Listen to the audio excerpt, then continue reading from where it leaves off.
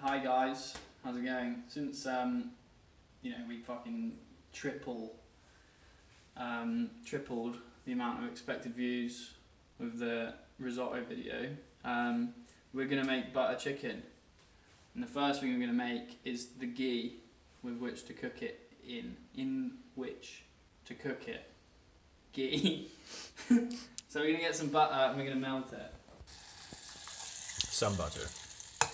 Yeah, like quite a lot. On a low heat, we're just gonna melt it. And we're just, we're waiting. Since nothing happens here. We'll probably cut this bit.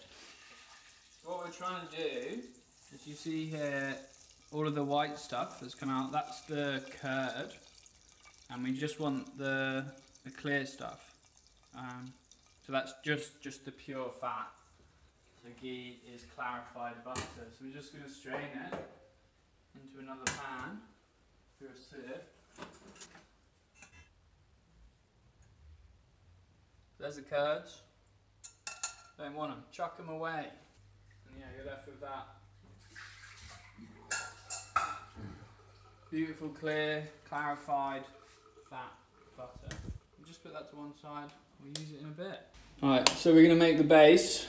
Um, for the things we're going to blitz up a load of stuff. So we're going to blitz up two onions, five cloves of garlic, some ginger, and some chili, and make a little paste.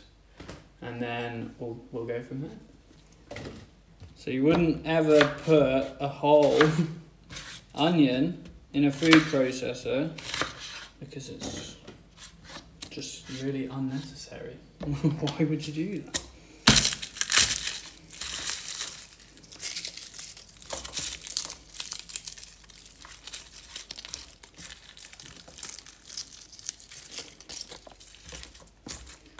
So garlic, there's different techniques. Most people just go for the old smash and peel. A good firm fucking whack. Just a good firm whack. No need to swear, George. And then it's actually really easy. Just comes right off. Bang. Right, because we're unprepared fools, we got frozen ginger. Um, so I'm just gonna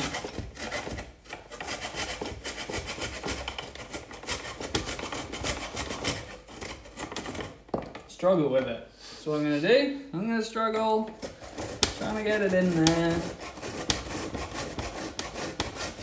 God, it's really, it's really cold. But it's working. There you go. Frozen ginger. Just grate it. Chuck a little bit of oil in to make sure it goes into a paste. Chuck a couple of dried dried chilies in as well.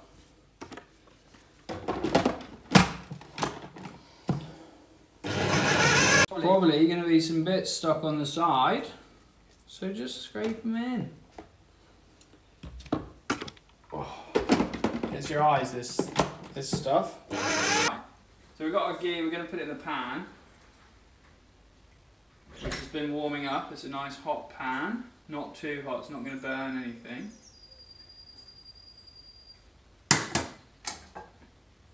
Also, if you don't want to make ghee, you don't have to, you can buy it from the shop. That's alright. We're going to take this, get ourselves a little spatula.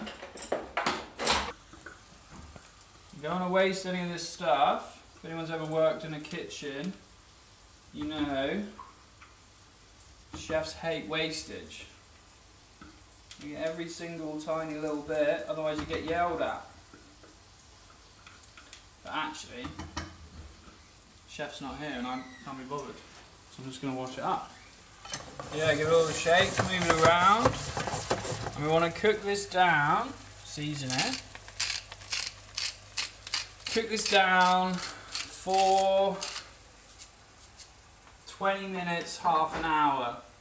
I know that sounds like a really long time, but like first of all, what else have you got going on in your life? Also, what we want is for all of the natural sugars in the onion, in the ginger, in the garlic to gently, slowly caramelize. and that's what creates that really like deep, intense flavour. That you know, because this is just like exactly it's better than you would get from any Indian restaurant. Um, and this is why, because they do things like this and they cook them for a really long time, and it's the secret. And now, since I love eating this, and I think, oh, I wish I could share this with my friends, but we're on lockdown and I don't have any friends. Um, I'll teach you how to make it, and then you can make it yourselves. Right, okay. So it's been half an hour. Have a little look. It's like it's really reduced down. It smells great. Not that you guys can smell it, but it does smell great. So we kind of, you know, we can see all the sugars are kind of coating the pan. It's really nice. So we're going to add our spices. Two, three tablespoons of turmeric, one tablespoon chili powder, two tablespoons each of cumin, coriander, garam masala, and then we've got one tablespoon of fenugreek, one tablespoon of Madras powder. Um, first we're going to add some tomato puree to this stuff. You know what it's like with tomato puree. I could tell you how many tablespoons this is, but what's the point? Looks like one and a half tablespoons. But just like, don't be a twat about it. Don't put too much in don't not put enough in. Of the time, again, on these stupid fucking videos, tasty, proper tasty, all that stuff, they don't leave enough time to actually start cooking the stuff. So they always just go like bang, bang, bang, bang, bang, and it's it's stupid because that's not how you cook. So that's why I'm here show you guys how to actually cook. This has been, you know, you can see again we want to get the natural sugars out of the tomato. So I'm just going to leave that doing that whilst I show you another trick. Basically you want this sauce to be smooth. And if you can't, if you don't have passata, passata is really expensive, right? More expensive than just a tin of tomatoes. As long as you don't mind washing up a blender.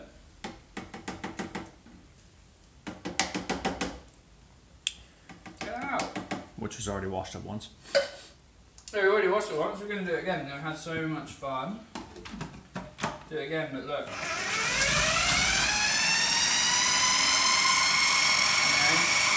Smooth.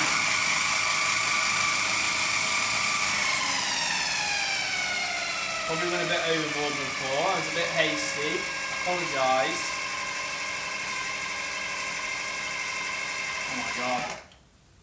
There we go. Just leave that, let it all kind of sink back in. Alright, this is now, again, so you can see, a load of the stuff has kind of come out, the colour's different. You know, we've reached kind of a good stage over here. So we're just going to add our spices. Just all of them in one go.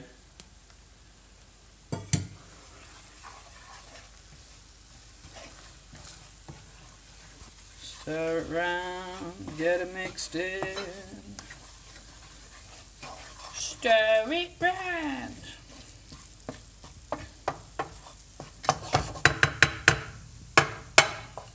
So we want to be careful not to like get it super super stuck and we know there's already some residual spices here. A little tip, if you see it, you know this is we've dried it out a lot basically which is good. But we can loosen it up, just add a little bit of water to pull all the stuff that's sticking off the bottom.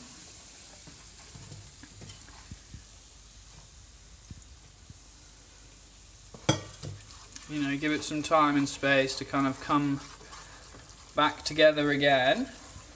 I probably should have put way more in. Probably go like yeah, half a cup. We'll make like a paste. Because that's basically what we've done, right? We just made a curry paste. And remember,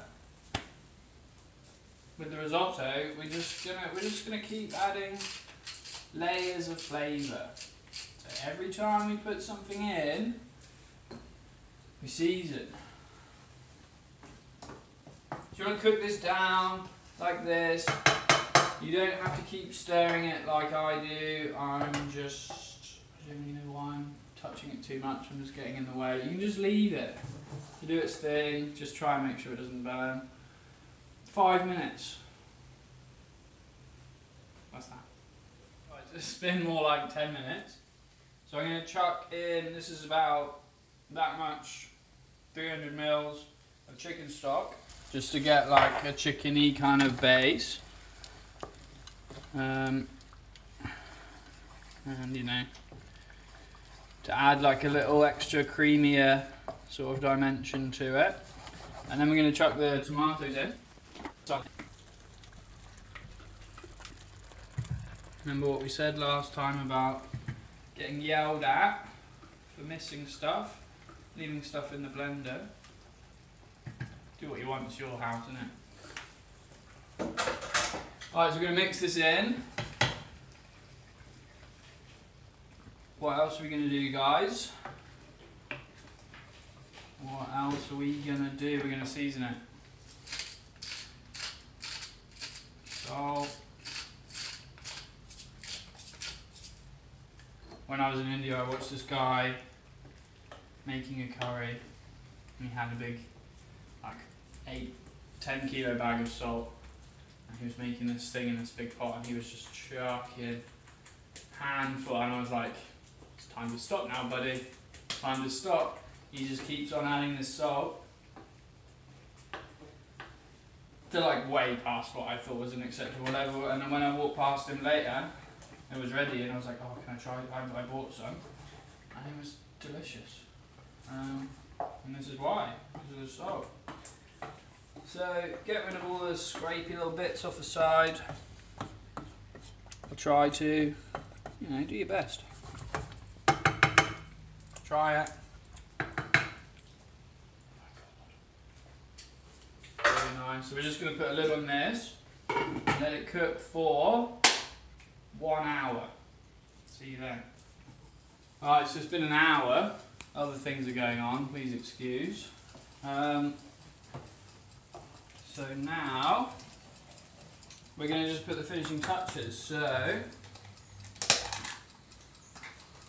this is a very indulgent dish, so we're just going to chuck quite a lot of cream in. So it's creamy, it's buttery, it's delicious. It's a very luxurious dish. So we're also gonna chuck in whatever butter we've got left. It's quite a, a substantial, healthy amount. Well, it's not healthy at all actually, that's the exact opposite of what it is. Quite a substantially unhealthy amount. And we're also going to, at this stage, chuck in the chicken. And it's raw because the best way to cook chicken is to gently poach it. So we've got, you know, in about 10 minutes this will all be cooked through. We're going to have nice little delicate pillows of delicious chicken. Make sure every time you handle chicken, you also handle your hands with soap, Oh, oh, hot water. You should be doing this anyway. You should be really good at doing this by now because of COVID. COVID. oh dear. So yeah, the butter's melting. The cream is absorbing all the stuff. And what are we gonna do? We're gonna season it. Because this is what we do on this show. So yeah, here we've got some pilau rice, which is going. Maybe I'll show you how to do that one day. At the moment, it's too much effort for me to tell you. Alright, so it's been about 10 minutes.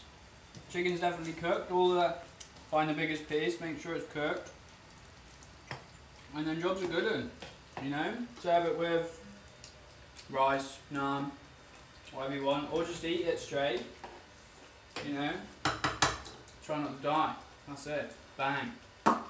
See you later.